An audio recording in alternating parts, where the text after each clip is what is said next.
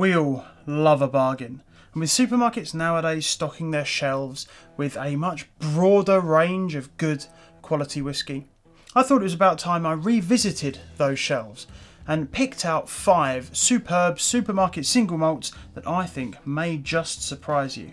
Welcome back, Dram fam, to the Whiskey Diary.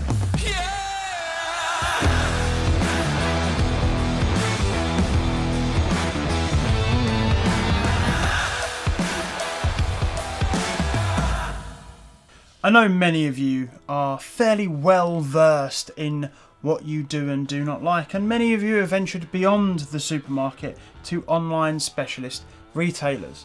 But if you're like me, your whiskey journey probably started in the supermarket, and quite honestly, I've completely forgotten what it is they have on offer. Now, even two years ago, when I first started getting into whiskey, they didn't have some of the whiskies that I'm seeing on those shelves now. These are whiskies that I've discovered outside of the supermarket and have gone back in, have now noticed them on the shelves. Now, maybe you're someone that's just starting a whiskey collection. Um, I thought this would be a really interesting exercise initially to see if I could actually build a collection of whiskies from the supermarket alone. And to be quite honest, there was quite a lot of really good stuff on offer. So I ended up just narrowing it down to picking five whiskies that I thought reflected you know, good quality. I try to keep them all around the £40 mark. I think that's kind of the sweet spot for affordability and quality. And you will notice that they are all single malts. That is just by chance.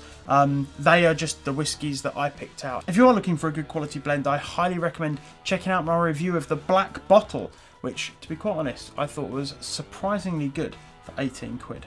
That's linked in the card above in the description down below. Now, of these five bottles that I'm going to show you, I did actually end up, I think I picked up about eight in total, and some of them didn't quite make the cut. Now, this is a place of positivity. I'm not going to tell you about the ones that I didn't like.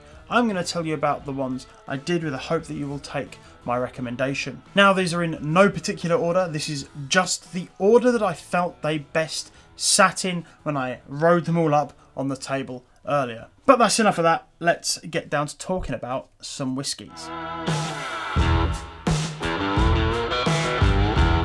First on the list, the Tobermory 12.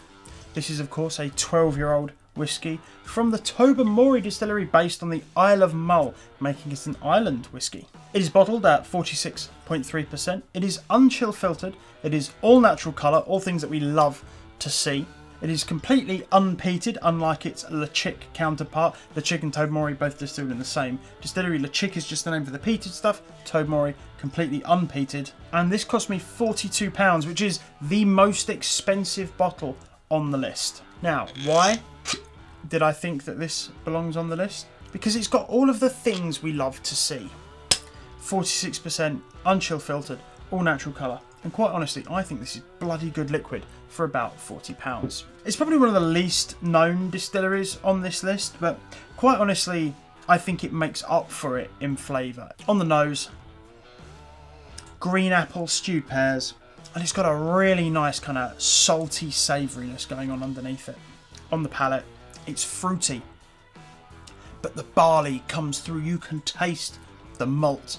On the back end, it's got a savoury saltiness. Oh, uh, it's got a bit of a honeydew melon going as well. The, the real kind of apple and pear sweetness dies off and leaves behind just a really interesting finish. Quite honestly, this feels like a very honest whiskey, a really good quality, honest whiskey. Something that more than competes with some of the more well-known distilleries, especially at a 12-year-old age statement as well. So, Slàinte. Next up on the list we have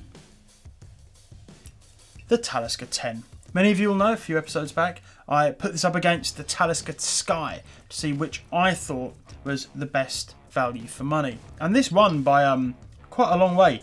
I'm not going to go too much into the tasting notes in this episode. I'll drop a link, uh, card, whatever, to the review I did of this alongside the Skye. But quite honestly, I think this has got an awful lot to offer for the money that you can get it for. Bottled at 45.8%. It is artificially coloured and it is chill filtered. Peated to around 16 to 22 ppm. You can get this down as low as 30 pounds in a supermarket. Really nice peppery wood smoke nose, like a fruity barbecue smoky palate with just more of that kind of sweet peppery finish. Like I say, drop a link to the review down below, so check that out.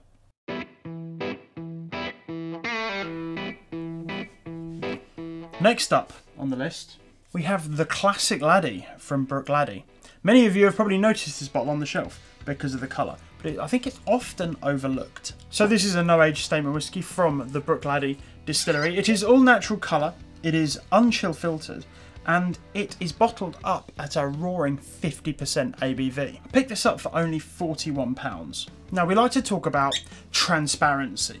We like to talk about you know, honest numbers, unchill filtered, all natural colour, bottling upwards of 46% ABV. Well, what I think is really cool about this is there is a code at the bottom here. If you go on the website and you type that code in, it will tell you exactly what went into this bottle, exactly, cask numbers and everything. So, this particular bottle, which is a vatting of 79 casks, 5 vintages, 3 barley types and 10 cask types, including we had some bourbon in there, Cabernet Sauvignon, Merlot, Sherry, Amarone. That kind of honesty for me goes an awful long way. It's a great talking point.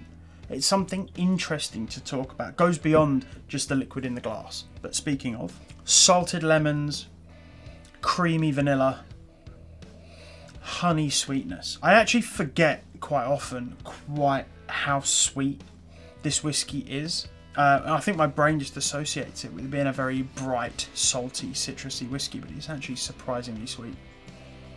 On the palate, toffee and demerara sugar up front. Really nice, like bright vanilla notes. Bit of like a pastry thing going on as well. And then it kind of transforms into this slightly salty, bright, citrusy whiskey. Towards the finish, orange, like bitter orange peel, almost like an old-fashioned kind of back end with just a little bit more bitterness, and right on the tail end, sweetness again. It brightens up and all the honey notes come back through. To me, this is a really honest, good quality, exciting whiskey. As a no age statement, I think a lot of people can be quite put off by that. Um, in some instances, you know, maybe assuming it lacks complexity, but I just don't agree. If you're someone that likes to really talk about the whiskey you're drinking, if you're into the technicalities, if you want to know how this whiskey was made, this is for you.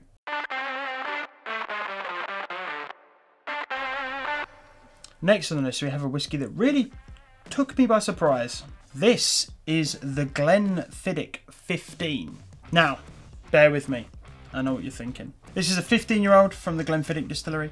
It is chill filtered, it is artificially coloured, and it is bottled at 40%. But this is a 15 year old age statement for £38. And I think flavour wise, it stands up. This is a sherried whiskey from a well known distillery with a good age statement on it. To some people, that's important. If you're quite new to whiskey and you haven't quite discovered the wonders of independent bottlings, if you're not quite convinced by no age statements, you look to security for your investment in a good quality bottle of whiskey. And I think, you know, a 15 year old age statement from Glenfiddich for less than 40 quid Let's see how it tastes. So what's really interesting about this whiskey is that it's a Solera vatting. Now Solera vattings are basically just a pine tank that's used to mix all of the different casks together and it's only ever kind of half emptied at a time and then the next batch is made it goes in with all of that so while it is 15 years old at its youngest who can say how old? Well, I can tell you how old because they last emptied it in 1998. So there is whiskey, there is liquid in there from 1998 going into this whiskey. Onto the tasting notes. It's the complete opposite of the Bruichladdich. This is rich. This is a bit spicy. The fruit is mellow. It's a lot richer.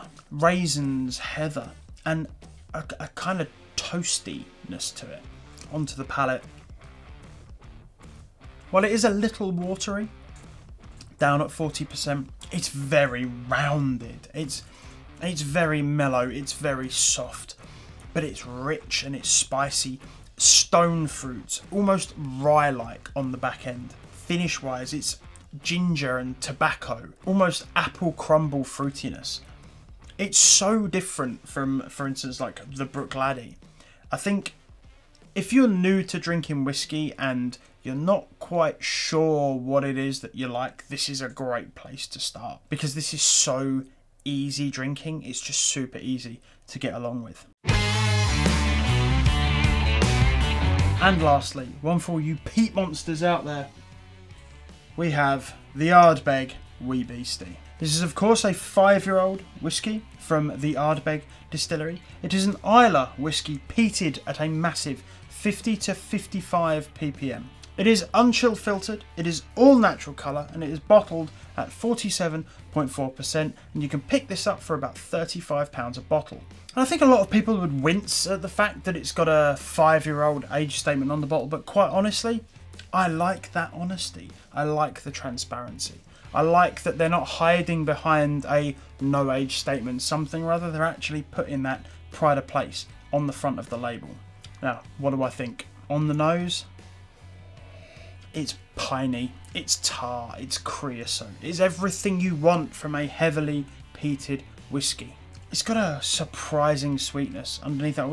Don't get me wrong, it does take you a little while to um to attenuate, to to get accustomed to the smokiness, but overall it's got quite a sweet nose on it. Palate wise, right up front, to be honest, honey. Right behind that vegetal seaweed all the saltiness and all that smokiness, all of that peat comes through. Really nice and peppery, white pepper, really hot. This is a hot whiskey. Finish wise, stem ginger, rye bread, and I got a I get a very specific tasting note of overbrewed tea. And that's uh, maybe a contribution of that mouthfeel. It's got a drying, heavily peated mouthfeel. I think this is an exciting whiskey, especially if you are someone that's really into your peat. This, this is good stuff, and it's £35 a bottle. Lots of people will tell you to spend the extra, what is it? It's about eight, nine, ten quid more, and go for the um, go for the Ardbeg 10. I don't always agree with that. The Ardbeg 10 is delicious, but I think, you know, the Ardbeg Wee Beastie, it's exciting and it's fiery, so give it a go.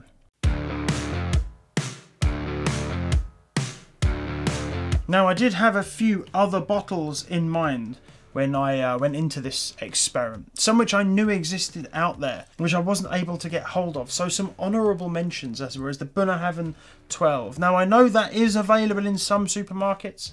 Um, unfortunately, I did not find it on my travels. I know you can get it in some more premium supermarkets in the UK, but unfortunately, I couldn't find it in the ones I went to today.